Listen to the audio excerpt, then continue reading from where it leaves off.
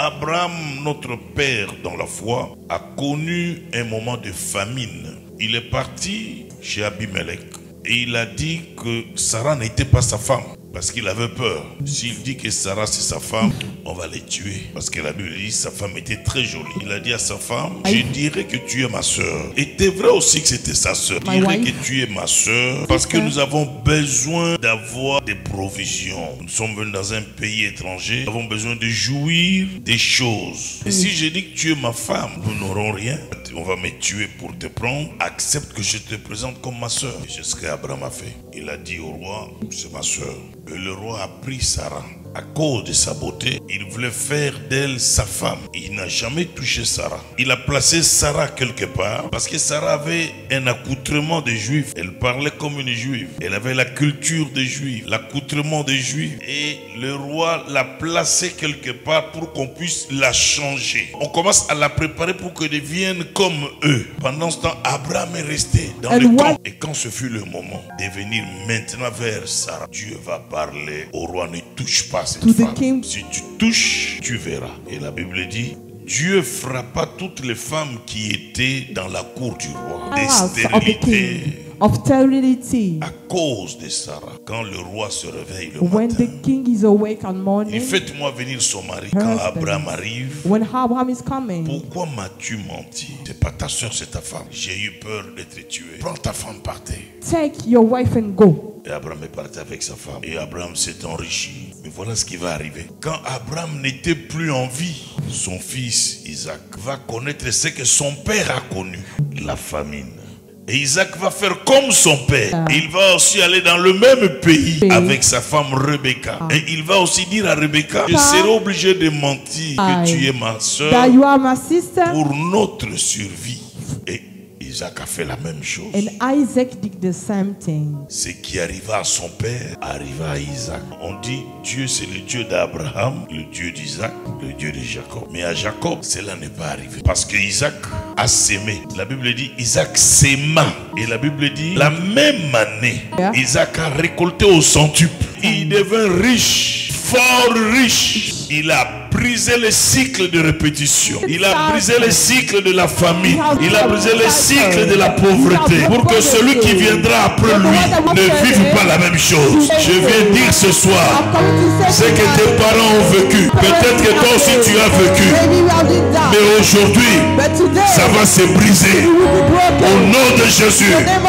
Pour que toi aussi, ceux qui viendront après toi, ne vivent pas ce que tu as vécu. Cycle du célibat, le cycle du divorce, le cycle de maladie chronique, ça va s'arrêter avec toi.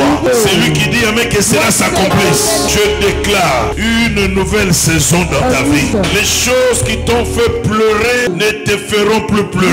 Ni toi, ni tes enfants, ni ta postérité. À dater de ce soir, au nom de Jésus, je fais arrêter le cycle de répétition.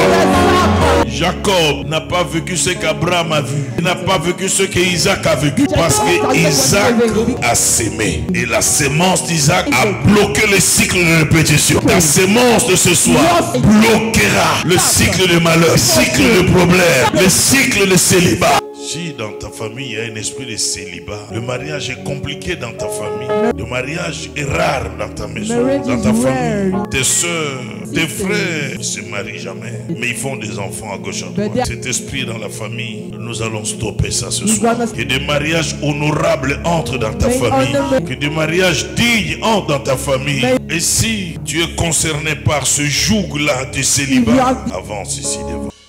Dater d'aujourd'hui, From today, que toutes les chaînes de célibat may all the yoke of celibacy dans leur vie, in their life, dans leur famille, in their family, soient brisées au nom de Jésus. broken in the name of Jesus.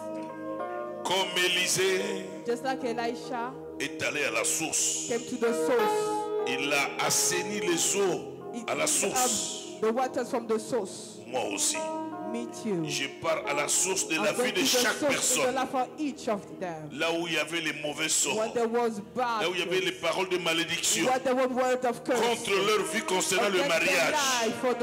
J'assainis leur vie. J'assainis leur maison. J'assainis leur famille. J'appelle le mariage dans leur vie. Le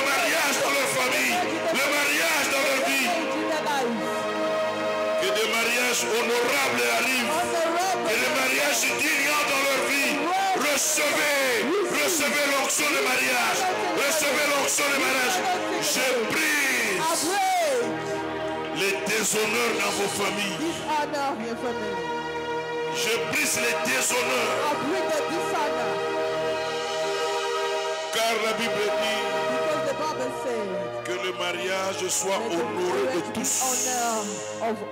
Que l'honneur de mariage entre dans vos maisons. Que l'honneur dans le mariage entre dans vos familles. À partir de ce soir, une nouvelle histoire de mariage. Une nouvelle histoire de mariage. À dater d'aujourd'hui, les hommes qui viennent et qui partent, ils ne partiront they plus. will not live. Ils s'arrêteront. They will not stop. Ils vont vous honorer. They will honor Ils vont vous épouser. They will marry Au nom de. Jésus. In the name of Jesus. Donnez-moi un amen fort.